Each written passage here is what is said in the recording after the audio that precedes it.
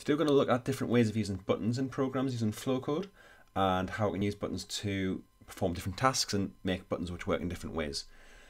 I've started off here just with a very simple program and all it does is when I press any one of these buttons it's just going to make a counter go up by one and you can see if I press it a number of times it makes it go up a number of times. And it's coming down on the LCD screen here at the bottom. And the way it works is on the in the program itself. I'll slow this down so we can see it working a little bit. Uh, when I press a button, the program starts. It starts up the screen. I've got a wait pressed component macro here, which allows the program to stop until I press a button. It's not always the best op uh, option, but it works fine for this simple program here. And whenever I press a button, it's saving it to this button variable here. We don't actually use that in this program at the moment, but we might use it later on, and it's something good to have.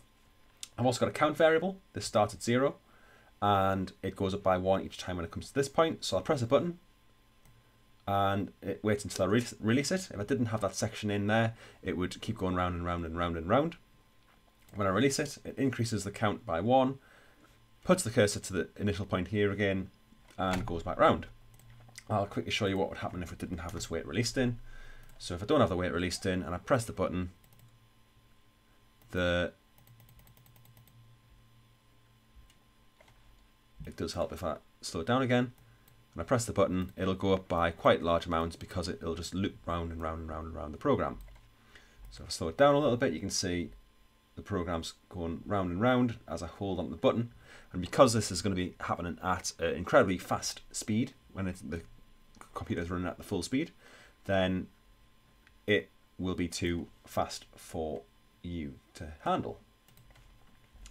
So we'll put that wait released back into the program.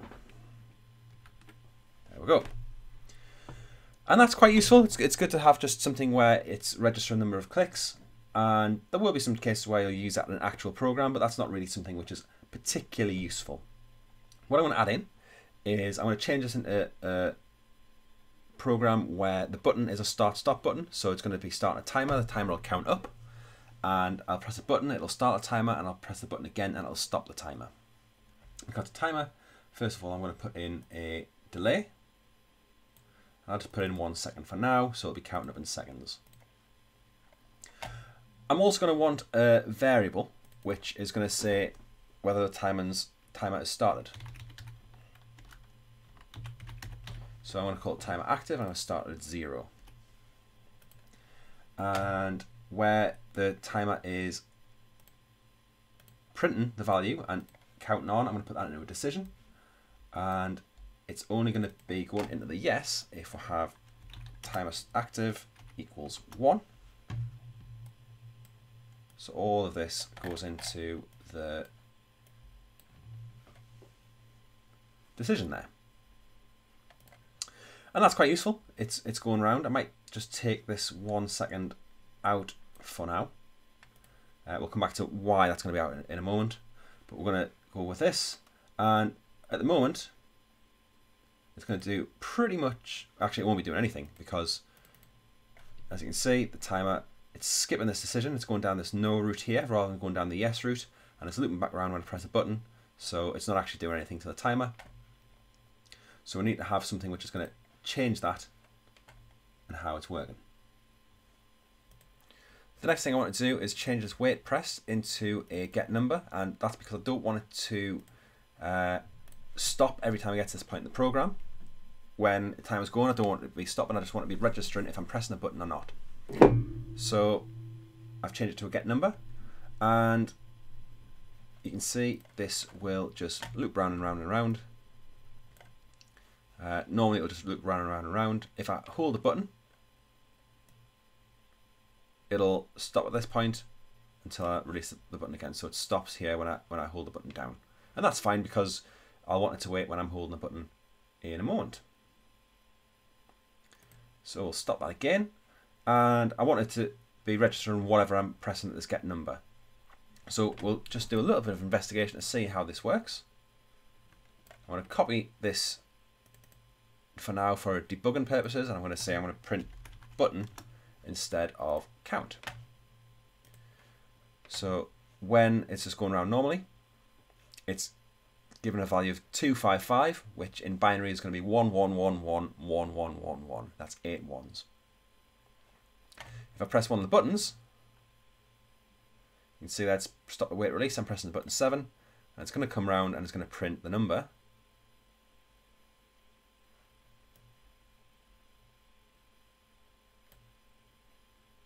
Seven. You can see it's, it's just doing it here on that first digit because I'm not clearing that line. Do this one, it's going to turn it into a zero. Just like that. So if I'm not pressing any buttons, it's going to give me 255. And to get this time active to start, what I want to do, I'm going to delete these out again, and I'm going to have a decision.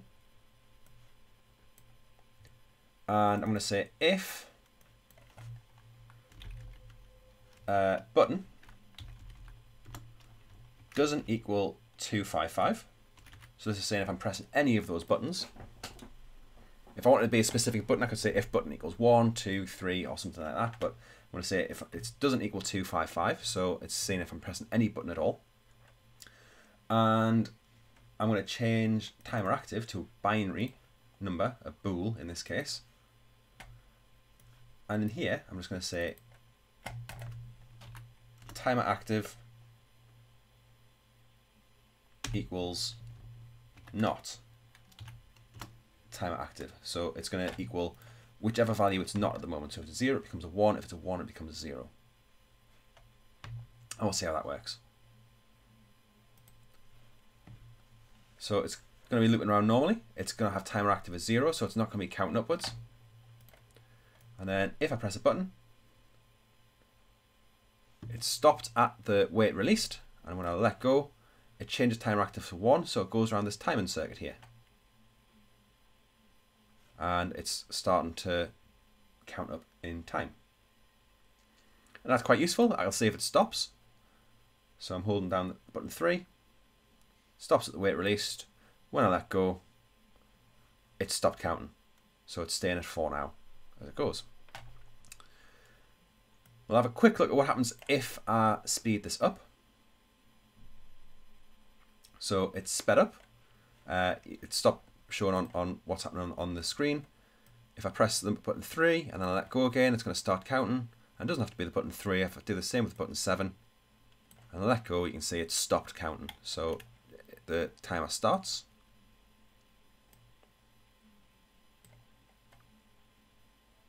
And then it stops again which is pretty useful. You can see how you can use this for something like a stopwatch or a timer. You can get it to count down instead of counting upwards. Instead of having count equals count plus one, you can have count equals count minus one, and you can do some good stuff with that.